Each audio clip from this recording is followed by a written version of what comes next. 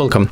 In front of me I have Samsung Galaxy A32 5G and today I will show you how you can connect AirPods Pro to this device. So at the first we have to open notification bar, activate Bluetooth and then enter the Bluetooth settings.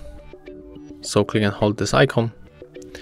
Next we have to open charging case of our AirPods Pro and then click and hold this button until this indicator starts blinking on the white color.